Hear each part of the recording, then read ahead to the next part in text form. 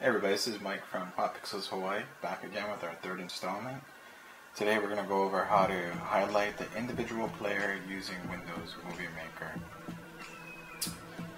So, it's my laptop here, let's go ahead and open the program.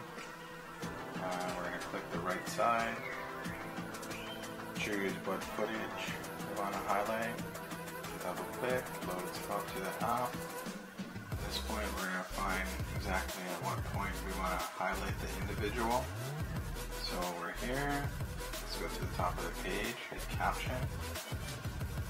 Then under text duration, I'm going to go ahead and click on that and type in 0.25. I just want it for a quarter of a second. Then I'm going to go to the font size and I'll click that and I'll have to type in 100. We go to the, the font style. And I found that this font style looks the best for, for what I'm using it for. It's called AR Bonnie, towards the top in this program. So here, I'm to drag the text window to the top, type in capital O, shrink the text window, and there. That's the individual I want to highlight. I put it a little bit high on them. Fill up the bottom portion with them because the text usually sinks down a little bit. So there's our split second text in the story. And what I'm going to do is I'm going to hit snapshot. It's going to go and open my photos album. I'm not concerned of what the title is. I'm just going to click save because it's not only going to save there, but it's also going to save towards the bottom of my footage. It just, it puts the snapshot there.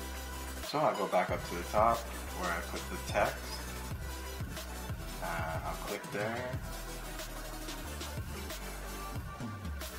Then I'll go to the top, hit edit. Opens up my split option. I'll hit split.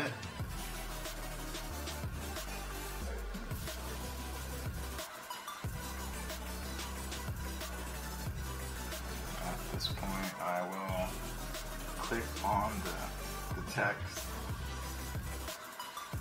I'll right click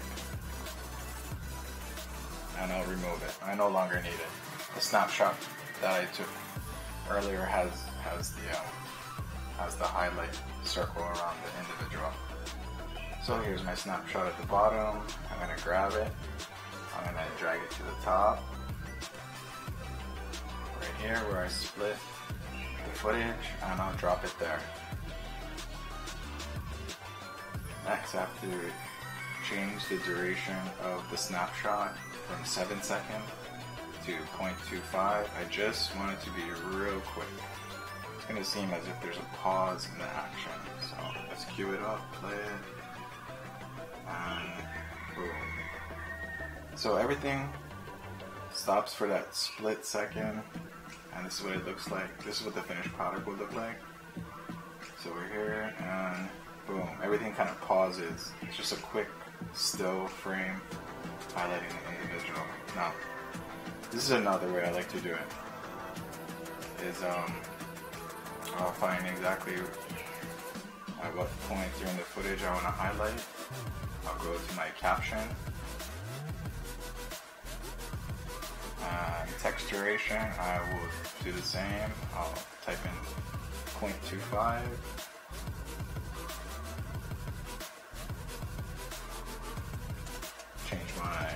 size to 100.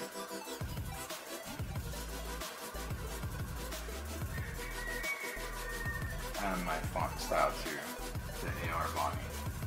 Okay. Opens up our text window. I'll type in a capital O. I'll shrink the text window.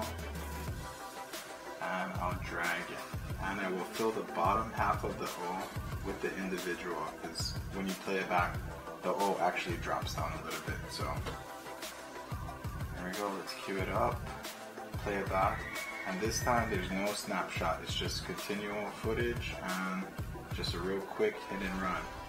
Just a real quick uh, circle highlight around that individual. This is what the finished product will look like. So we're here and boom, highlighted play continues. This way is a little bit quicker, a little easier. just depends what you're going for. Is the two different types. This is the snapshot one, boom, everything stops. And then some people prefer that. It's pretty much just personal preference, but I've used both in highlight videos. Here's the the other one where it's just continual footage and just a quick text will pop up around that individual whom you want to highlight. And that's about it. Simple as that.